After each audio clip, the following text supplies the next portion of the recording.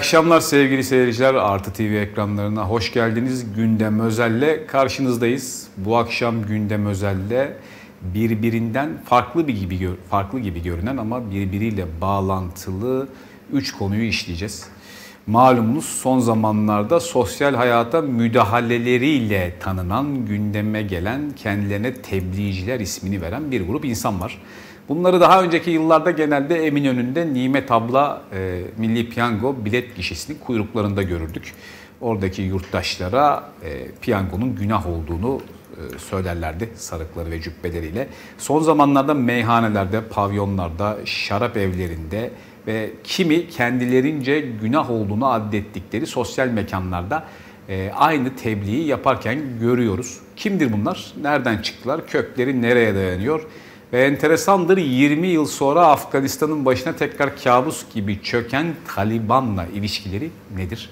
Bu grubun Taliban'la kökleri bakımından bir takım ilişkileri var. Bunları masaya yatıracağız. Aynı zamanda Diyanet İşleri ve Diyanet İşleri'nin çok kıymetli, büyük bir alim olan e, başkanının açıklamaları var. Kendisi son zamanlarda tabiri caizse coştukça coştu, coştukça coştu ve yine bu e, müstesna açıklamalarına bir yenisini daha ekledi. Diyanet İşleri Başkanı'nın laiklik karşıtı çıkışlarına da e, programımızda bakacağız. Nedir, kökeninde ne var? Sadece basit bir e, coşkun e, bir çıkış mı yoksa arkasında başka şeyler mi yatıyor? Mesela Şeyhülislamlık iddiası gibi, mesela bir halifelik düzeni gibi, mesela karma bir hukukun hayata geçmesi gibi bütün bunların hepsini değerlendireceğiz. Tabi değerli bir konuğumuz var stüdyomuzda. Nazif Ay ilahiyat uzmanı yazar. Hoş geldiniz programımıza Sayın Ay. Teşekkürler, hoş bulduk. Şimdi tebliğcilerle başlayalım. Aslında bu konular birbirinden farklı gibi dedim ama bağlantılı olduğunu düşünüyorum. Siz de bu bağlantıları ince ince e, programımızda e, ortaya koyacaksınız. Kimdir bu adamlar? Nereden çıktılar? Aslında epeydir hayatımızdaydılar da biz mi fark etmiyorduk? Nedir, ne değildir bu tebliğciler? Ee, şimdi Fatih Bey önce e, İslam dünyasında 200 yıl önce çıkan bir kişiye işaret ederek tebliğcilere girmek istiyorum. E, kimdir o? Nakşi tarikatının lideri, şeyhi Halid-i Bağdadi. Bütün İslam dünyasında 18. yüzyıla kadar gelen geleneksel tarikat anlayışının bir anda Halid-i Mevlana Bağdadi ile değiştiğini görüyoruz. Daha doğrusu İslami öğretinin içerisine siyasetin katıldığını görüyoruz. Ve bugün Türkiye'ye veya diğer İslam ülkelerine baktığımız zaman İslam siyasetinin din politikasının başındaki liderlere ilham kaynağı olan kişinin Halid-i Bağdadi olduğunu görüyoruz. Aynı zamanda hem tarikat ve cemaat gibi güya tırnak içerisinde kendilerine ahlak öğretisi verdiğini iddia eden yapılarda hem de resmi kurumlarda Diyanet İşleri de bunun içerisinde var. Ee, bu öğretinin, bu e, anlayışın devamı olarak geldiğini görüyoruz. Bir ek yapabilir miyim burada? IŞİD'in öldürülen liderinin e, isminin de Ebu Bekir Bağdadi olmasının herhalde bu Bağdadi ile bir bağlantısı vardır diye düşünüyorum. Seçmesinin çünkü takma bir isim. Evet, e, biliyorsunuz yine e, İslamcılarda subliminal mesaj, hı hı. E, daha doğrusu bir takım unvanları isim olarak kendisine alarak bu Ortodokslarda da vardır. E, dini lider olarak seçilen kişiler önceki isimlerini bırakır e, ve aziz olarak kabul ettikleri kişilerin e, unvanlarını veya isimlerini alırlar. Hı hı. Yine dikkat ederseniz İslamcı yapılarda Ebu sözcüğüyle başlayan pek çok e, kişi e, militan olarak sivrilmiş ve lider konumuna gelmiştir. Ebu Hanzale mesela çok fazla kullanılır. Halis Bayuncak evet, asıl evet, evet, adı. Evet. Ona da geleceğiz bu arada. E, tabii. E, o yüzden tesadüfi diye e, addedilen bir takım şeyler din siyaseti içerisinde tesadüf değildir. O bir hedeftir hedefin içerisinde oluşturulmuş bir e, projenin e, uç noktalarıdır. Ondan dolayı elbette değil. Şimdi istersen zamanı da doğru kullanmak Tabii, adına e, biraz önce giriş e, girişte şunu söyledim. Mevlana Halid-i Bağdadi ile ba- e, başlayan bir süreç var. Örneğin bugün tanıdığımız İsmail Ağa cemaati, Süleymancılar, özellikle hepsinin başında olduğunu kabul ettiğim, benim kabul ettiğim değil, e, teorik olarak da, pratik olarak da öyle olan Nurcular ve e, cerrahi kolu, e, hepsi bu Mevlana Halid-i Bağdadi'nin ekolünden gelmektedir. Şimdi tebliğcilere gelecek olursak tebliğciler de her ne kadar medrese, klasik e, medrese öğretisi içerisine yetişmiş olsa da yine Halid-i Bağdadi ekolünden gelmektedir. Nerede doğdu bu Halid-i Bağdadi ekolü? Ee, bu Bağdat'ta zaten o sonundaki iyi e, iyilik yani aitlik e, olarak eklenen e, bir harf olarak e, mesela İstanbuli, Sivasi şeklinde e, Halid-i İstanbuli vardı Enver Sedat'ın öldürülmesine karışan hatta öldüren kişi. E, ve bu şeyi de ifadeyi de çok severler. Bir yere aitlikle ön plana çıkma Mısır Devlet Başkanı Evet, e, Sedat. evet, evet. Hatırlayanlar hatırlatalım. e, iyi bilir. E, şimdi şöyle söyleyeyim ben. Tebliğ cemaati de her ne kadar dediğimiz gibi medrese ekolü içerisinde kendisini saysa da bu öğretiden geliyor ama e, resmi olarak kuruluşu 1926 e, Hindistan'ın Yeni Delhi kentinde kuruluyor. E, Nizamuddin Merkez adı verdikleri bir ana karargahları var. E, orada e, Mevlana Muhammed İlyas Kandehlevi adında bir kişi tarafından aslında onun etrafında oluşmuş bir kurul tarafından e, kuruluyor ve altı ilke ediniyorlar. Kendilerine altı ilke e, benimsiyorlar. Bununla e, İslami hayatı şekillendirebiliriz. 1400 yıl önceki Hazreti Muhammed'in güya yaşamını zamanımıza aksettirebiliriz iddiasıyla ortaya çıkıyor. Yani bunların anlayışı aslında İslam'ın çok dar ve katı bir yorumu desek herhalde yanılmış olmayız. Bunların İslam'ı nasıl bir İslam? Hatta onlara? Ortodoks İslamı deniyor. Yani kimi zaman böyle İslam'ın önüne veya sonuna yakıştırılan bir takım sıfatlarla bir takım deyimler, kavramlar oluşturuluyor. Ee, bunlar da e, Ortodoks İslam'ı, e, radikal İslam, hani köktenci İslam anlayışı evet e, çok geleneksel E, ama bu gelenekselliği bazen insan orijinal fikirlerle de bir takım e, insanların önüne yeni paketle sunabilir. Bunlarda öyle bir iddia yok. E, kendilerini siyasetten uzak olarak e, gösteriyorlar. Bu şekilde isimlendirilmesini istiyorlar. Sadece Sünni Hanefi ekolü bunlarda vazgeçilmez. E, radikal bir Sünni anlayışı var. E, bunları tarif ederken eski CIA başkanı hani FETÖ'nün de koruyucusu Graham, e, Graham Fuller. Fuller e, şey diyor. Bunlar sakin, politikaya karışmayan, sadece vaaz eden bir topluluk şeklinde çok masum bir maskeyle e, ön plana koyuyor. İslami politikanın geleceği adlı bir e, kitapta kendisinin çok bilinen kitabında bunları bu şekilde lanse ediyor. E, fakat gerçekten bu kadar masum mudur? Sorularına e, herhalde cevap bulmaya çalışacağız. E, nasıl kurulduğu Kim evet. var bunların Türkiye ağının başında kim var biliyor muyuz? Yani bu e, gezenlere şu an ekranda da görüntülerimiz dönüyor. Mesela orası bir pavyon, oradaki bir emekçiye, emekçi kadına e, vaaz veriyor sıra. Başka bir görüntüde bir şarap evinde çalışan dar gelirli başka bir emekçiye bir psikolojik baskı yapıyor.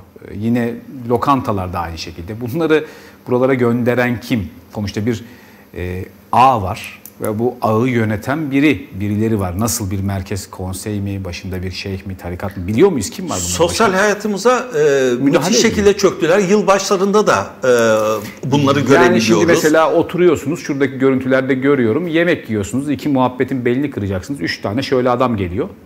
Yapmayın, etmeyin, yanacaksınız. İnsanın canını sıkacak bir şey. Kim gönderiyor bunları? Ne amaçla gönderiyor? E, Türkiye'de e, Ömer ismindeki bir kişiden benim haberim vardı. E, çünkü bunlar emir dedikleri bu teşkil yani tebliğ işini yapan organizasyonu, grubu yöneten kişilerin devamlı değiştiklerini biliyoruz. Ama bugün e, Güvenlik dünyada gerekçesiyle mi? Niye acaba? Bir tahmininiz var mı değişmesiyle?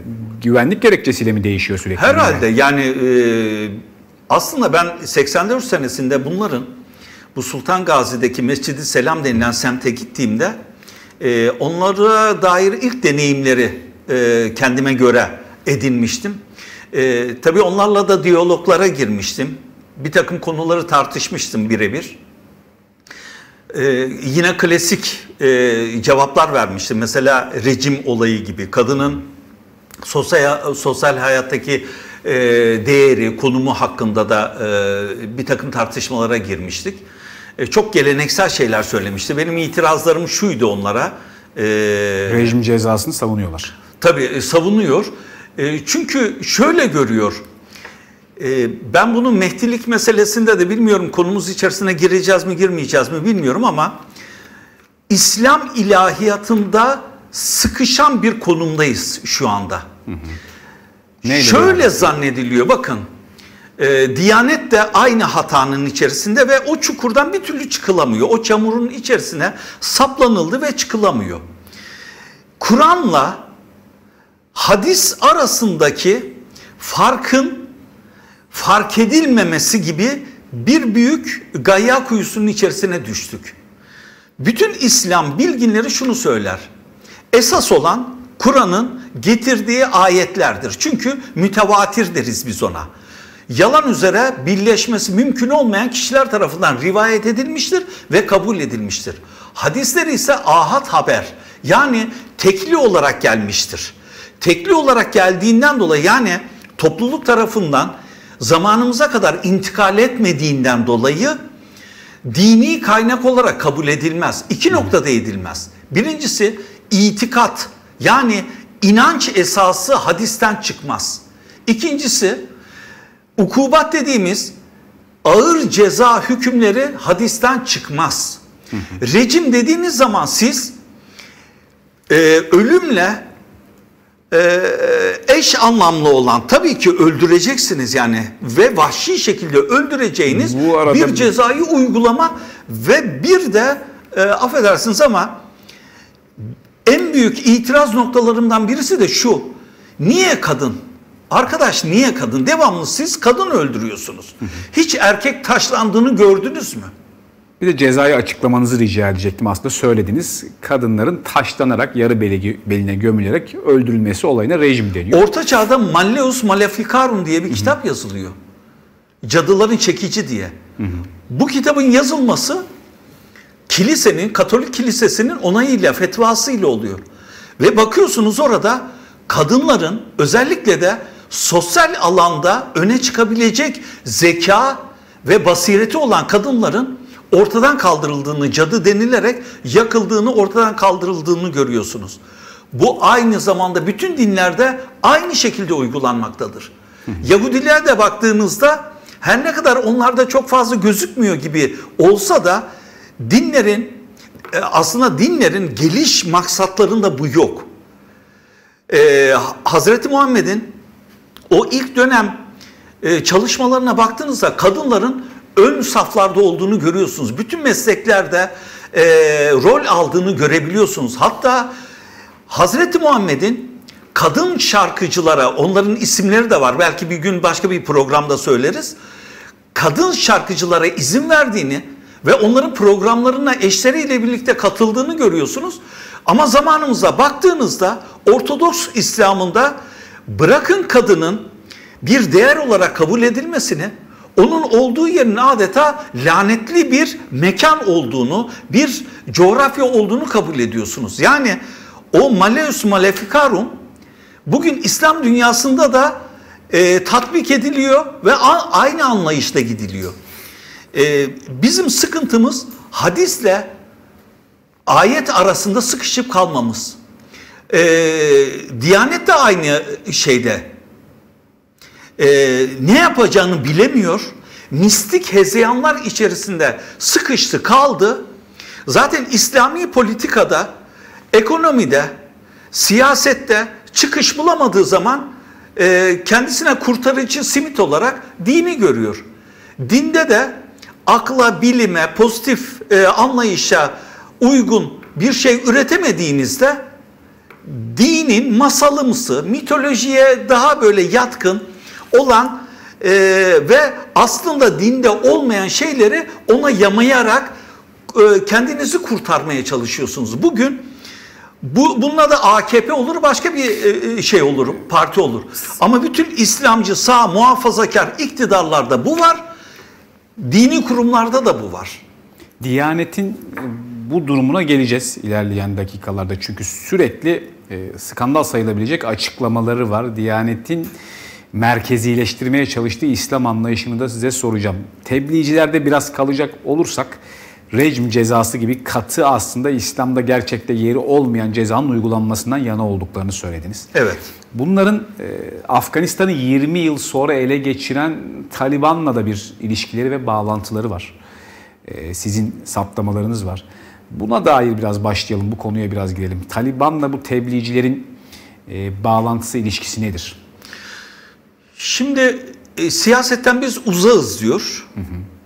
Biz herhangi hani Hanefi, Şafii, Ham, e, Maliki gibi e, pratiğe dayalı mezheplerde bir tercih hakkı kullanmıyoruz, öne çıkartmıyoruz diyor. Yalnız pratikte bu çok fazla da söz konusu değil. Her ne kadar siz siyasetten uzak durduğunuzu iddia etseniz de tıpkı FETÖ gibi. FETÖ neden e, besleniyordu? Nurculuktan. Yani Risale-i Nurlardan. Risale-i Nurlar'da iddia neydi? İleri sürdükleri argüman neydi? Biz siyasetten tamamen uzağız. E, hatta Allah'a e, siyasetten Allah'a sığınırız. Şeytan bile demiyor. Şeytanı kaldırıp e, enzü billahi mine şeytan ve siyase. Şeytanla da andığında bile şeytandan ve siyasetten Allah'a sığınırız diyordu. Peki böyle mi oldu? 1950'de Menderes'e tam destek vererek de böyle olmadı. Sonraki dönemlerde e, siyasetin tam göbeğine oturmakla da böyle olmadı. E, hatta Ayasofya'nın açılması bir FETÖ projesidir diye bir yazım çıkmıştı. Tam e, Ayasofya açılacakken hiç kimseden itiraz da gelmedi. Çünkü Risale-i Nur'da hilafet e, bayrağının açılabilmesi için e, Ayasofya'nın açılması gerekir anlayışı vardı. Ayasofya'nın tamamen muzahrafat diyor ona. Pislikler Ayasofya'nın içerisindeki Hristiyanlık dinine ait olan ikonalara ki hakaret ediyorsunuz karşınızdaki e, inanca, itikada siz e, hakaret ediyorsunuz. Bunları pislik olarak addedip temizlenmesi gerekir. Temizlendikten sonra da hilafetin, tabi kendilerine göre hilafetten sonra da Mehdilik denilen manevi e, payenin oluşturulması, kurulması gibi bir hedef var. E, Taliban'la ortaklaştıkları Taliban, nokta? Taliban her ne kadar e, Pakistan'da kuruluyor, hı hı. E, Kandahar'da kuruluyor 1994'te ama 79'daki mücahit grupları içerisinde de var bunlar. Evet o zaman adı Taliban. Var. E, fakat bir milliyetçi tarafı da var, etnik tarafı da var. Peştunlar daha çok bunun içerisinde. Paştunlar. Darul Ulum e, denilen bir medrese özellikle bunu hareketlendiriyor, Taliban'ı hareketlendiriyor. Ee, burada tebliğ cemaati bir öğretmen, Taliban da bir öğrenci konumunda. Yani birbirini iteleyen bir konumdalar. Şöyle dersek yanlış olur mu yani? Türkiye'deki tebliğcilerin e, ana kökleri aslında Taliban'ı yetiştiren medrese. Evet, sahibi diyebilir aynen miyiz? öyledir. Yani radikal İslam'ın kökten dinciliğin veya fundamentalizmin e, öğretim kadrosu tebliğdir. Çünkü daha öncesinden geliyor. E, aynı radikal dili, aynı öğretileri e, ortaya koyuyor ve kabul ediyor. Ve ortaya koyduğu bu esasları, bu kuralları Taliban bugün uyguluyor. E, kimi televizyonlarda ben e, tanık oluyorum. E, Taliban rejim ithal etmeye, e, şey ihraç etmeye çalışmayan, yani saf dillik mi diyorum veya bizi Taliban aptal yerine mi koyuyorlar ben? Ben öyle yani bizi aptal yerine koyuyorlar herhalde. Hiçbir İslami yapının e, gayesi o çerçevesi içerisinde ben inancımı dışarıya taşır mıyım diye bir e, fikir asla olamaz. Bunu İngilizler İngilizler biraz enteresan bir e, devlettir. Enteresan bir siyaseti vardır onların da. Dewsbury denilen bir kasabası var. Mesela tebliğcilerin İngiltere'deki en önemli karargahı o kasabadır. Fakat daha sonra e, Rayvant denilen bir grup oluşuyor. Kırılma oluyor şeyin içerisinde. E, tebliğ cemaatinin içerisinde. E, Blackburn kasabasına onlar e, e, karargahlarını kuruyorlar. Fakat e, şunu da fark ediyorlar aslında. Her ne kadar e, siyasetten uzağız dese de bu yapılar e, siyaseti besleyen, İslamcı siyaseti besleyen bir mantaliteye sahip. Fakat e, zaman zaman çözemediğimiz bulmacanın e, bence çözüm noktası da şurada. Ben de yıllarca düşünmüştüm. Örneğin Batı niye bunları radikal olduklarını bile bile kendi kucağında yetiştiriyor? Sovyetler Birliği'ni çevrelemek için Yeşil Kuşak projesi çerçevesinde diyebiliriz herhalde bu İlk önce öyle zamanımızda da besliyor ama şu anda da besliyor. Kissinger doktrini diyebileceğimiz. Evet sizce neden şu anda? Şu anda da besliyor. Afganistan'ı terk etti Taliban'a. Ee, yani İslam dünyasının bugün e, kendisine orijinal diye üretimde gösterebileceği bir kalitesi yok. İslam dünyasının hepsini ben kastediyorum. Tüm İslam ülkelerini kastediyorum. Ee, bunları e, Batı, Batı'nın bir takım projeleri, e, senaryoları kendilerine göre onları güdüleyen bir takım e, anlatımları vardır ve kendilerine göre yine haklılık payı da vardır. Mesela Armageddon e, savaşı olacak diyor. İsa'nın inişi e, ve orayı da Suriye ve Orta Doğu olarak veriyor. Onların Suriye ve Orta Doğu diyerek kendi müntesiplerini, üyelerini veya hayranlarını, taraftarlarını motive etmesini biz anlayabiliyoruz. Ama İslam dünyasını e, buralara e, angaje edecek başka e, deyimler kullanıyor. Mesela Büyük Orta Doğu Projesi diyor. Kendi içerisinde Armageddon ama sana Büyük Orta Doğu Projesi olarak onu veriyor. Bu yapıları da e, amacına ulaşmak için belli bir amacı vardır onun. E, saf dil e, yine e, kimi müs- e, şeyler dindarlar da demeyeyim artık ona ama radikal şekilde eğilimleri olanlar zannediyor ki e, bunlar Batı ya, ya çok saf e, ya da biz e, gerçekten hadis denilen şeylerle amacımıza ulaşacağız. Hayır. E, belli bir proje var. O projenin içerisinde seni e, Batı istediği gibi kullanabiliyor. Tebliğcileri de bu anlamda kullanıyor. Tarikat cemaatleri de Taliban'ı da o şekilde kullanıyor. Bu tebliğcilerle e, Taliban arasında bir Afganistan'ı Taliban ele geçirdikten sonra bir gidiş geliş başlar mı? Yani buradan tebliğciler e, Mezar-ı Şerif'e, Kabil'e eğitim görmeye, eğitim vermeye, oradan Taliban militanları Türkiye'ye gelmeye gitmeye başlar mı tebliğcilerin camilerine? Böyle bir E, sorunuzun cevabı aslında gayet açık. Elbette. Çünkü e, tebliğcilerin içtima adı verdikleri büyük toplantıları Bişva denilen e, e, Bangladeş'in e, bir şehrinde, Pakistan'da e, dolayısıyla Afganistan'ın çeşitli yerlerinde gerçekleştiriliyor.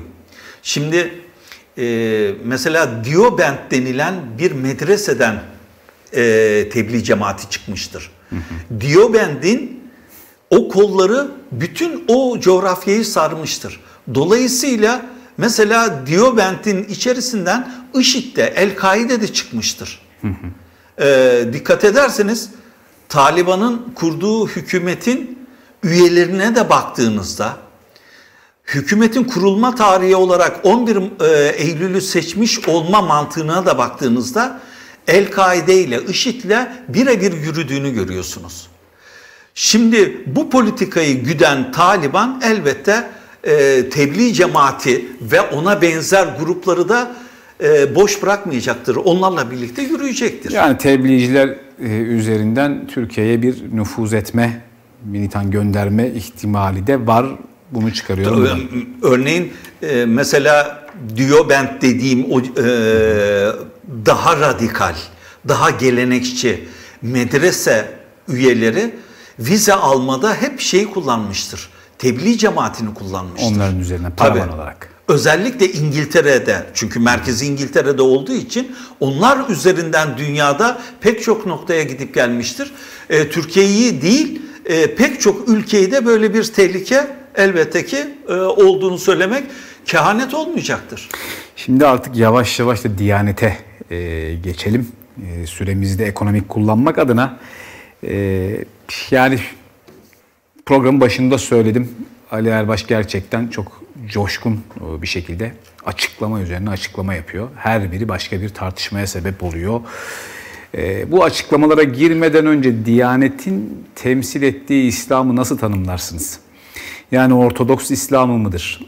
Emevi İslam'ı mıdır? Nedir ya da başka bir şey midir? Buradan başlayalım. Bugün e, herkesin kendine göre bir tanımı var, bir yorumu var. Benim de bir aslında ilginç değil ama e, geç kalmış bir e, tespittir bu. İslam dünyasında bugün iki güç birbiriyle kavga ediyor, karşı karşıya gelmiş, e, mücadele ediyor. Bir tarafta Hazreti Muhammed, bir tarafta da Ebu Süfyan. Bugün aslında mezheplere de baktığınızda, İslami gruplara da baktığınızda Hazreti Muhammed'le Muaviye'nin kavga ettiğini görüyoruz. Yani bir tarafta hangisi? mücadeleci bir ruh var. Damadı Ali ile de birlikte Kerbela olayındaki o haklının yanında olma, hakkı savunma mantığını güdüp hayatını ortaya koyan bir mücadele ruhu veya devrimci ruh. Bu devrimci ruhu illa zamanımızın siyasi jargonu içerisine, sosyalist jargon içerisinde de değerlendirmiyor olabilirsiniz. Ee, ama başka bir e, dar çerçevede de alabilirsiniz ama e, bir devrimci ruh var mı? Evet var. Haksızlıklara karşı baş kaldıran bir e, anlayışın temsilcisi olarak bir e, böyle bir anlayış var. Bir de evet Emevi İslamı. Emevi nereden geliyor? Muaviye'den geliyor. Hı hı. Muaviye'nin babası kimdi? Ebu Süfyan'dı. Mekke'nin ve Arapların en önemli merkezinde başkanlık konumunda olan Ebu Süfyan'dı. Ebu Süfyan'ın elinden o emperyal gücü alan kimdi? Hazreti Muhammed ve devamında e, her ne kadar halifeler geldi diyoruz ama e, Ali ve oğullarıdır. Yani bugün Alevi ve Sünni değil. Bu başka bir çatışma e, şey değil aslında. Dünyada çatışan ne Alevilik, Sünniliktir bu isimleri bile kullanmaya gerek yok. Bir tarafta haklı olanların mücadelesi var. Ama bu haklı olanlar illa dini bir kılıf içerisinde de olması gerekmiyor aslında. Ama e, din jargonu içerisinde Hazreti Muhammed var bir tarafta bir tarafta da Ebu Süfyanlar var. Ee, Diyanet nerede diyorsunuz? Yani hı hı. bu anlayış içerisinde Diyanet Kur'an'ın verilerinin ö, ö, baya bir uzanda kalmış hadislerle hareket etmeye çalışıyor. Ve kendisini konumlandırırken e, son zamanlardaki on, e, Diyanet İşleri Başkanı'na biçilen rol bakımından söylüyorum. Adeta Osmanlı'nın Şeyhülislam'ı gibi bir pozisyona hazırlanır. Ve bunun ötesinde yine hani dedim ya birbirinden kopuk değildir. Taliban niye kendisine emirlik dedi? Emirliğe atayanlar çünkü e, şeydir, halifelik sistemidir. Hı hı. Ben bir yazı daha yazmıştım. Ee, Ankara'daki külliye de diyorlar, biz saray diyoruz hani. Orada belli odaların Mehdilik odası olarak tasarlandığı, e, çünkü buna dair kendi cenahlarında pek çok yazılar yazılmıştı. İran'la birlikte Türkiye Mehdilik yarışına girdi diyorduk. Ama Mehdiliğin olabilmesi için de yönetim anlayışının laiklikten koparılarak halifile dönüştürülmesi yani dini e, temellere oturtulması gerekiyor. E, halifelik ise bu yakın zamanda çok fazla tartışmalar olacak. Göreceksiniz bunu. Halifelik sanki Allah'ın bir emriymiş, peygamberin de hedefiymiş gibi bize sunuluyor değil mi? Evet. Oysa Hazreti Muhammed orijinal orijinalini okuyayım da bazıları hani uydurma e, olarak algılamasın. Buyur. El hilafetu badi selasüne seneten. Sümme tasiru meliken aduden diyor peygamber. Ahmet bin Hanbel'in kitabında da e, kayıtlı hadistir bu ve tevatüren gelmiştir. Diyor ki e, hilafet benden sonra 30 senedir. 30 seneden sonraki hilafet, hilafet adındaki bütün sistemler kudurmuş köpekliktir. Sarih bir hadis değil mi bu? Evet. Şimdi e, isteyen ya kardeşim bu basbaya hakaret halifeli. Hayır Hazreti Muhammed diyor ki benden sonra 30 senedir. Sayıldığı zaman 4 halife bir de buna e, Hasan da ekleniyor. Kimisi Hasan'ı da ekliyor buna. Bundan sonra e, peygamber mucizevi olarak kendisinden sonra ne olacağını haber vermiş. Benden sonra diyor 30 e, senedir ondan sonra kudurmuş e, krallıklar geliyor diyor. E, kudurmuş köpeklik geliyor diyor. Çünkü tasiru ifadesi Arapçada aynı zamanda ısıran köpek anlamına, kudurmuş köpekin e, fiili, eylemi anlamına geliyor.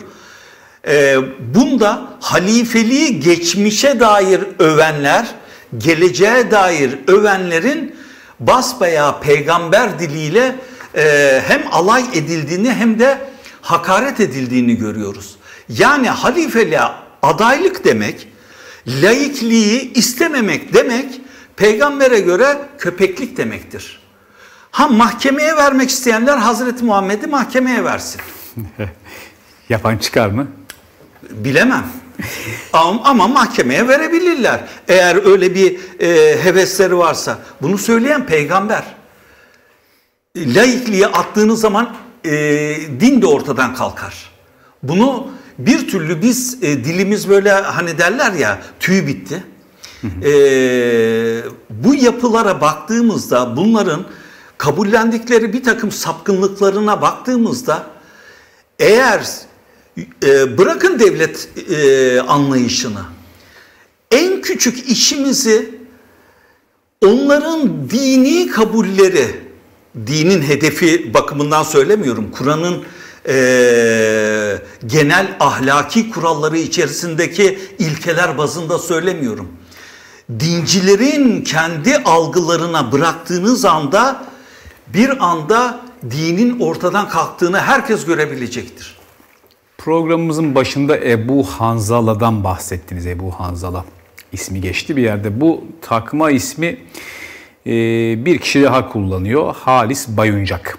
Kendisini kamuoyu IŞİD'in Türkiye emiri olarak tanıdı. Ama bu suçlama kanıtlanabilmiş bir suçlama değil. Kendisi de kabul etmiyor. Hatta IŞİD'in kendisini hedef aldığını söylüyor. E, kanıt olarak buna IŞİD'le aynı kaynakları kullanması, aynı benzer fetvaları vermesi e, kendisine suçlama olarak yöneltiliyor. Hatta e, insan yakılabileceğine dair e, televizyonda fetvası var. Ama Haris Bayuncan yani Ebu Hanzala'nın buradaki bu suçlamaya verdiği cevap ve savunması çok dikkat çekici. E, Haris Bayıncak diyor ki doğru diyor. Yani IŞİD'le aynı söylemi kullanıyor olabilirim ama ben Diyanet işleriyle de aynı fıkıh külliyatını kullanıyorum diyor. Yani buradan tabii. şu çıkıyor. Halis Bayuncak suçlama IŞİD'in Türkiye emiri olmak. IŞİD ve Diyanet aynı fıkıh külliyatını mı kullanıyor? Evet. IŞİD'le Diyanet aynı fıkıh külliyatını kullanıyor. E, tabii. Açar mısınız biraz bunu? E, şimdi bunu e, bizim yaramaz çocuklarımız diye e, IŞİD'i masum gösteren biliyorsunuz bir AKP'li olmuştu. Hı hı. Şu yani, an başka partide. Tabii. Ama yani siz e, benim için zaten parti önemli değil. Anlayış, zihniyet önemlidir. E, bazılarını hani bu gerçek İslam'ı yansıtmıyor. Hani gerçek İslam'ı derken şunu kastediyorsanız dinler aslında evet tertemiz doğar. Hı hı. Hatta bana göre ben diyorum ki bunu e, yine böyle jargonlarla falan şey yapmayın. Bütün din, dinler sosyalist doğar ama kapitalist olmaya doğru itilir. Ölümleri de bazen kapitalist olarak olur. Ee, sosyal adaletçi olarak doğar bütün dinler. O anlamda doğru. Fakat siz dinin kaynakları diyerek bir takım kurallara oturmaya başlarsanız e, ve bunu savunursanız e, sünni kaynaklar içerisinde de bugünkü radikal dinci grupları besleyen birçok e, şey var, e, kural var, birçok e, kaynak var. Burada örneklendirebilir miyiz mesela IŞİD'le Diyanet'in birebir örtüştüğü, kullandığı külliyatlar bakımından, kaynaklar bakımından ve verdiği fetvalar bakımından aklınızda varsa örnek olarak verebilir misiniz? Daha somutlaştırmak adına. Şimdi şöyle söyleyeyim ben. Ee, Daha mesela re, re, rejim, rejim meselesi her, her ne kadar e, şeyde e, biraz daha yumuşatılmış şekilde geçer İslam fıkıh kitaplarında, Hı-hı. İslam hukuk kitaplarında ama neticede hadislerde verildiği ifade eder. E, bundan dolayı e, bir de bakınız e, bugün IŞİD'i de, El-Kaide'yi de, Taliban'ı da hatta İslami siyaseti de hadi e, Diyanet çünkü Diyanet bir şekilde bir yol alıyor şeyle birlikte, iktidarla birlikte yol alıyor. Ben İslami siyaseti söyleyeyim. En büyük güç kaynağı hangisidir biliyor musunuz? Darül Harp meselesidir. Da, yani İslam dışı ülke. İslam dışı, ülke savaşılması caiz olan topluluk, toplum anlamına geliyor. Eğer diyor İslami hükümlerin cari olmadığı, geçerli olmadığı bir toplumda yaşıyorsanız her şey size mübahtır. Zina, kumar vesaire her şey faizi falan her şey size mübahtır. Şimdi e, İslamcı zihniyet bu gözle bakıyor. Ee, bazıları şeye ya kardeşim diyor İslamcılar niye besmele çekip çalıyor? O çalıyorum diyor bakmıyor ki kendisine hı hı. mazeret üretmiş çünkü. Diyor ki e, kardeşim diyor bu ülke şeriatla mı yönetiliyor? Şeriatla yönetilmediğine göre Darül Harp'tir burası. Darül Harp olduğuna göre bu şeyler bana caizdir. Yani e, benim kullanımıma açıktır. Ondan dolayı benim vicdanım da buna e, el veriyor. E, benim dini anlayışım da bunu onaylıyor. E, dolayısıyla e, ben niye bana onay verilen bir konuda geri durayım? Darül Harp meselesi ki ahlaksız bir felse, e, felsefedir. Bu felsefede değil ya e, anlayıştır, kabuldür. Bugün İslam dünyasında İslamcıların daha rahat hareket etmesine neden oluyor. E, bugün televizyonlarda güya İslamcıları e, kategori, e, yorumlamaya çalışan kişiler ya bilerek bu meseleye girmiyor ya da cahilliklerinden bu konuların içerisine hiç e, girerek tehlikeye düşmek istemiyorlar belki bilmiyorum ama e, Türkiye'de en fazla e, üzerinde tartışması yapılması gereken e, konulardan birisi Darül Harp meselesidir. E, siz buna açık kapı bıraktığınızda dinin kaynağı diye pek çok şey gösterebilirsiniz. Yani bunu Atlan Hoca'nın Mehdilik projesinden tutun. Ee, bir din siyasetçisinin e, ülkeyi ele almada kullanabileceği bütün o yolların kendisine nasıl açık olması gerektiğini kabul etmesine varıncaya kadar her şeyi siz kafanıza oturtursunuz. Sayın Ay son 5 dakikamız hatta 4 dakikamız daha somutlaştırmak adına aynı kaynakları kullanıyor ve aynı anlayışta dedik ya IŞİD'le. Evet. O kaynaklardan örnek verebilir misiniz? Bir de yine dediğim gibi varsa aklınızda e, örtüşen bir fetva mesela. Rejim cezasını söylediniz. Örtülü de olsa Diyanet bunu kabul ediyor. Onun dışında verebileceğimiz örnekler var mı? Yani sosyal hayata dair erkeğin birbiri me mesela mesela e, çünkü erkeğin kadının falan konusuna girersek çıkamayız. E, güncel bir şey, şimdi gündemi takip etmemiz gerekiyor evet. ya. E, geçen günlerde Diyanet ne dedi? E, karides e, şey e, Kalamar, karides, e, deniz evet, evet, haramdır. Balık midye vesaire falan haramdır. haramdır dedi. Şimdi bunun kaynağını bütün Hanefi, Sünniye ekolde evet bu şekilde geçer. Oysa Şafii mezhebine baktığınızda hı hı. E, hatta diğer mezheplere de baktığınızda pratik mezheplere e, baktığınızda e, denizden çıkan bu hayvanların yenebileceği ifade ediliyor. Çünkü peygamber onun e, tüm bu saydığımız e, hayvanların yenilebileceğine dair görüşünü ortaya koymuş. Buna rağmen e, aslında e, yöresel olan, kültürel olan bir takım tavrı mesela Hanefi kendi anlayışına göre bunu yorumlamış ve haram demiş. Oysa Kur'an kesin olarak bir şeyin haram olarak nitelendirilmesini Allah'ın yapacağını söylüyor Kur'an'da. Siz nasıl haram diyebilirsiniz buna? Ee, neden e, hareket ediyorlar? İlmihallerde de bu şeyler var. Ee, fikir cinayetleri diyeyim.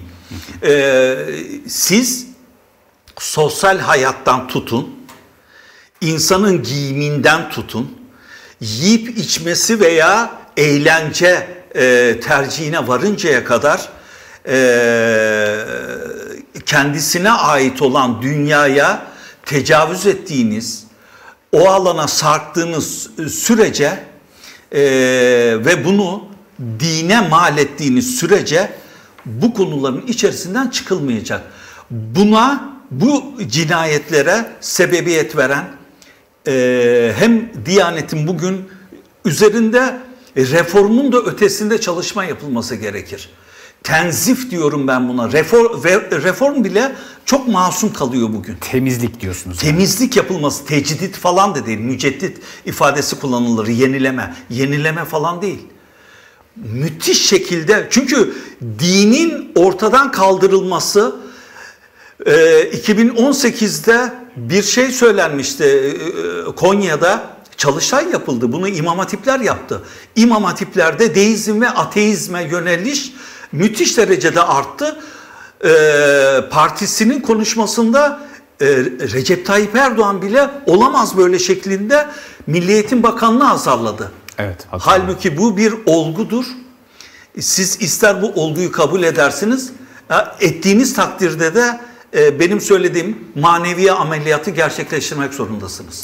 ismini hatırlamadığım bir ilahiyatçı da bu devirde ateist olanlara Allah günah yazmaz. Çünkü bunların Ben bunlardan cennete, dolayı cennete gideceğini söyledim. Hatta bunu kime dayandırdım biliyor musunuz? Kime? En radikal İslamcı ataları olarak kabul ettikleri İmam Gazali'ye dayandırdım. Gazali'ye dayandırdım. Tabii altı tane şey sınıf sayıyor, inanç sınıfı. Üçüncüsünde bir şeyler söylüyor. Belki şu ana sığmaz. süremiz bitti. Evet, bitti. Ben ben şöyle bir mesaj vermek istiyorum. Buyurun son sözlerinizi alalım. Bunu e, özellikle vurgulayarak söylemek istiyorum. Bugün demokrasiyi, insan haklarını, insan onurunu savunduğunu iddia eden, öne süren bütün kurumların, örgütlerin, partilerin, medya kurumlarının mutlaka aydın, din, e, bununla kendimi kastetmiyorum. Benim için hiç problem değil. Çünkü ben özgürüm, kendime göre bir e, yapım var. Ama mutlaka e, diya, e, diyaneti bilen, ilahi ilahiyat konularına hakim kişileri kendi bünyelerinde beraber yürüme mecburiyeti var. Bunu e, şimdiye kadar akıl etmediler. Kendileri cevap vermeye çalışıyor ama halk bazında, kamuoyunda karşılığı yok, inandırıcılığı yok. Artık şunu adam gibi yapsınlar. E, ilahiyatçıları, bu işi bilenleri kendi bünyeleri içerisinde bir şekilde istihdam mı ediyor, beraber mi yürüyor onu ben bilemem. Ama bu konuya da el atmalarını kendilerinden önemli hatırlatarak uyarıyorum. Sayın Ay katılımınız ve katkılarınız için çok teşekkür ederim. Ben Programımızın de çok geldik. teşekkür ediyorum. Bu akşam gündem özelde eh, tebliğciler cemaatini, Taliban'la olan bağlantılarını ve düzinelerce program yapılsa sürenin yetmeyeceği Diyaneti konuşmaya çalıştık. Bizden sonra ana haber var. Hoşçakalın.